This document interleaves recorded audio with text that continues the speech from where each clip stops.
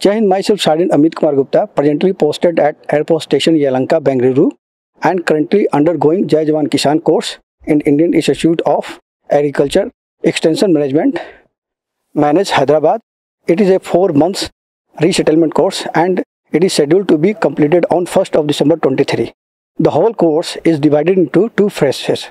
In first phase, the basics of agriculture were taught and in second phase, about farmer producer organizations, Uh, entrepreneurships and DPR preparation were taught. Apart from these activities, a number of field visits to the different ICAR institutes, university, experimental stations, KVK, Kisan call centers and online offline interaction with successful entrepreneurs and one-to-one session with different bankers like SBI, NABARD, SDFC were also conducted.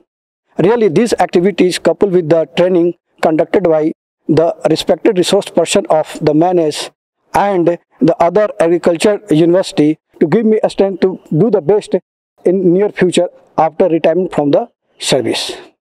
I would like to request managed if possible please add more field visit to the course. I would also give my sincere thanks to the team manage for conducting the first Jai course very nicely and gently. Thank you.